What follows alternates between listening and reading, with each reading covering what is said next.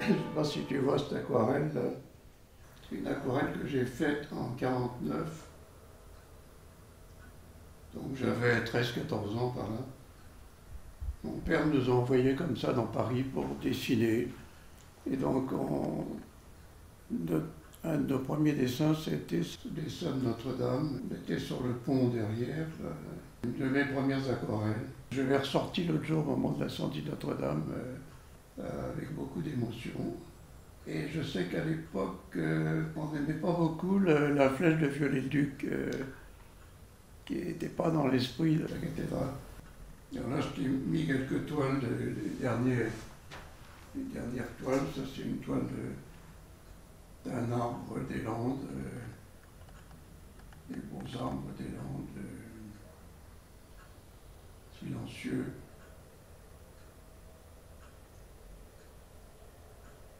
Celui-là est des Landes et celui qui est au-dessus, c'est un, arbre de l'Hérault, un, un vieux chêne de l'Hérault dans la garrigue que je rencontre chaque fois que je vais dans l'Hérault. Et on a un dialogue silencieux comme ça le soir. Euh, un côté, côté sauvage euh, et en même temps il, il, raconte beaucoup de choses du vent qui passe. donc j'aime bien le consulter avec lui. Les formes sont toujours très belles, très, larges. Et à côté, c'est la vigne, qui fait aussi partie des beautés de l'héros. C'est le rapport de la grappe avec le sol, avec le feuillage et, les, belles lumières du couchant, enfin, des rapports étonnants. À côté, c'est un, une vue des Pyrénées, euh, du côté de Serret, Toujours au couchant, on avait trouvé un endroit superbe avec ces grandes lignes comme des, comme des vagues. La montagne se dessine comme ça dans le ciel, euh, toujours silencieuse et raffinée dans les rapports. En dessous, c'est complètement différent, c'est la falaise du Pays de Caux, la silhouette de la falaise du Pays de Caux. J'aime bien aussi le, soir comme ça aller au bord de l'océan et essayer de, saisir cette profondeur de, la mer, des, des, bleus superbes, des bleus profonds, euh, mélangés au pourpre. Des moments silencieux et pleins de d'espace, euh, de respiration profonde de, la nature. Alors les trois là-haut, ben, c'est toujours l'océan, toujours l'océan à l'île Ça, c'est les sables des conches. En dessous, c'est l'océan sur la falaise. Et c'est toujours le soir entre 6h et, 9h, au moment où le, soleil et la mer se, rejoignent, s'épousent un peu. Les rapports subtils entre les, les vers de la falaise, l'océan, les rochers, tout ça s'accorde. C'est une phrase de Mozart qui disait je, je cherche les notes qui s'aiment.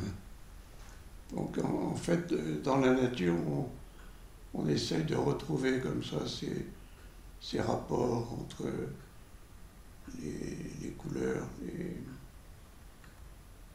les formes. Il y a une aquarelle plus ancienne, une aquarelle de fleurs.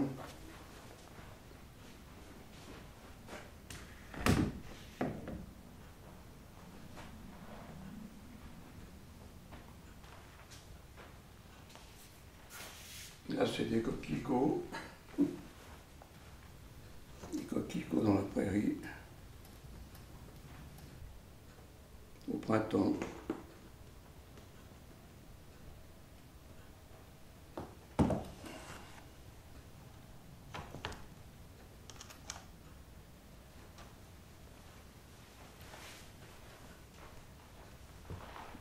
Alors, c'est vrai qu'il y a, l'arbre là, que je pourrais te montrer. Là.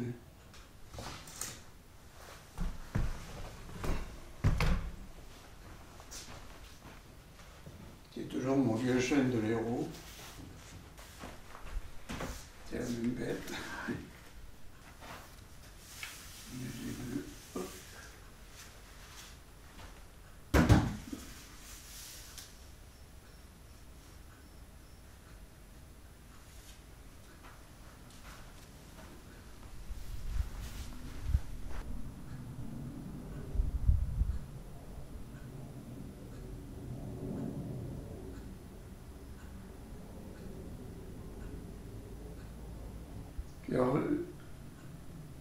Ça c'est l'étoile, mais avant j'ai des séries, des, séries de 20, 30 euh, petits, euh, tu vois, dans cet esprit-là.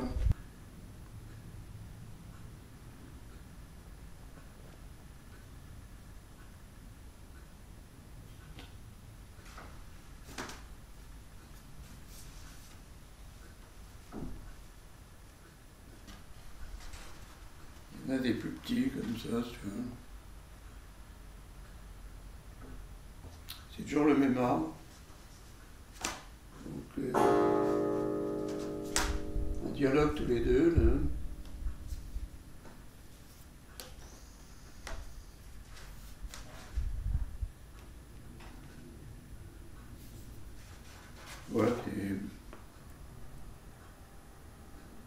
Ça rejoint, pour moi, ça rejoint la danse, les, les, rythmes de l'arbre, euh, ça rejoint les, les pas du danseur.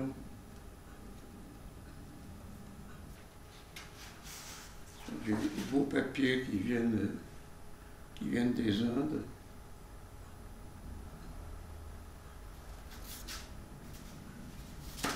C'est un figuier à Lilieu que j'aime bien. Euh, peindre les, jours où, où, la mer n'est pas très, euh, accueillante. Je me réfugie sur le figuier qui, qui a des, formes superbes, euh, des, des, grands rythmes, des courbes, c'est plutôt des courbes le figuier, donc c'est un côté plus féminin peut-être que le chêne. Et donc j'aime bien le, dialoguer avec le figuier. Donc je fais des séries comme ça. Donc, euh, ça c'est une série de fin août, début septembre euh, à Lilieu. Le grand figuier.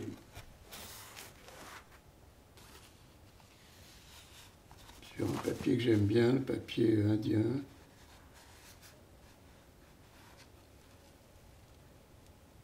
sablé un peu. Voilà, euh, j'essaye de saisir euh, les rythmes du figuier.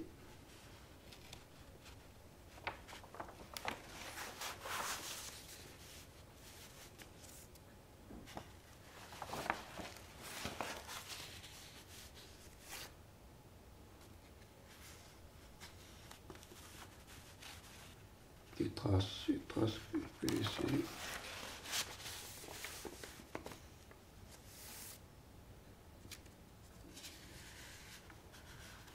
Donc c'est des séries, donc certains pour les montrer, il faudrait tous les mettre sur le même mur.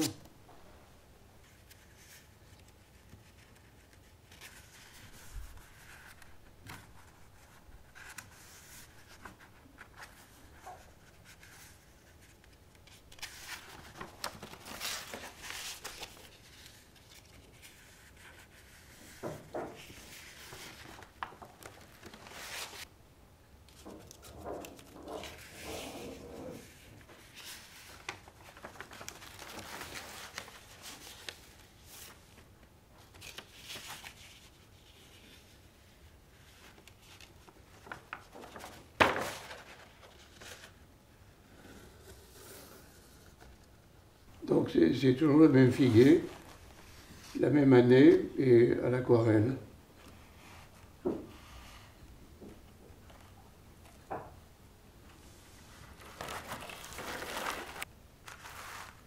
Voilà, je marque derrière euh, euh, belle lumière, le vent du nord froid. Point d'exclamation.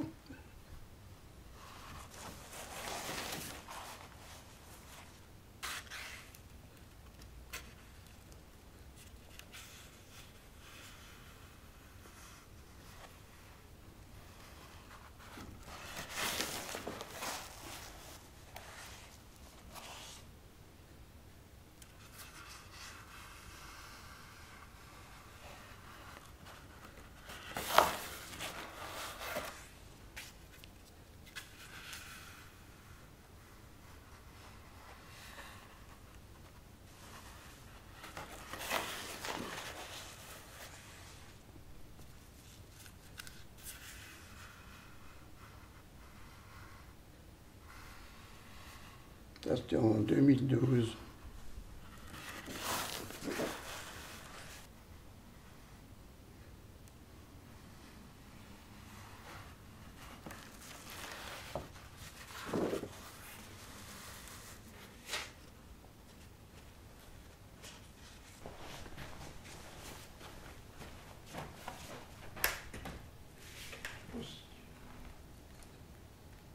si on le voit bien là. Ça, c'est un très vieux chêne de l'Hérault. Dans la forêt, la forêt landaise. Ce qu'on appelle la chênaie, euh, devant les maisons, et puis là, tu as une, une vingtaine de chênes, et puis après, tu as la forêt de pins.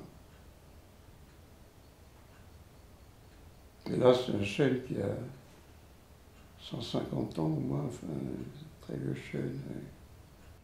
Ben, le chêne, euh, tu sais, j'ai écrit un texte sur le salon.